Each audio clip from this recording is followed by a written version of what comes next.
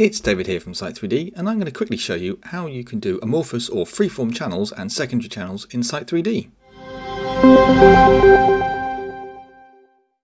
So we have a, a, uh, couple of roads here with a junction and a, junction to existing.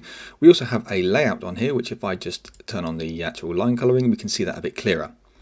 Um, this is where we want to widen out the primary channel to on this side and do the junction flaring and also over here we want to put on some secondary channels where these would um, fall back towards the actual main channel line level wise.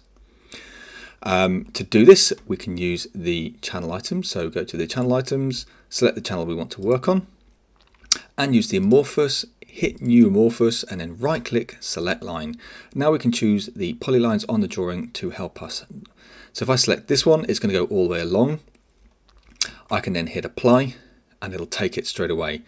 And you can see it's done the uh, junction flares, it's done the parking bays along the side here and this one over here.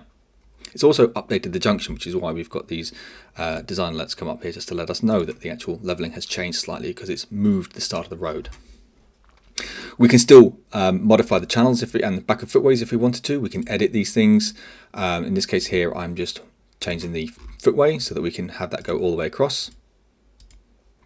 That'll bring it all the way through. Uh, we can even edit the actual channel itself. So we can go into here, go into amorphous, and I believe there's a slight deviation here. We can actually put in a curve. Pull that one right out, hit apply, and it'll take it. Smooth that out if you need to.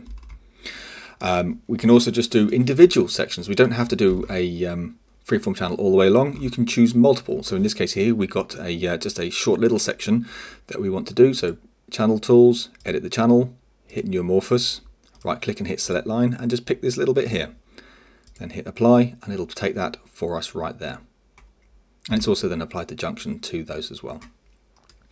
With the secondary channels, it's very similar. So what we're going to do is just go to the secondary channel tools, hit new, and then select the channel side that we want to add it to, new amorphous, new amorphous, and right click, select line, and just choose the polyline that we want it to go with.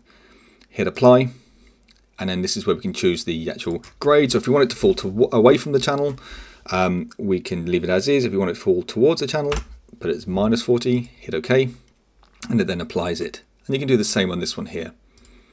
Just keep adding them. So select this side, new amorphous, right click select line, pick this side here, hit apply, change the grade to whatever you need it to be, click OK, and we've got it.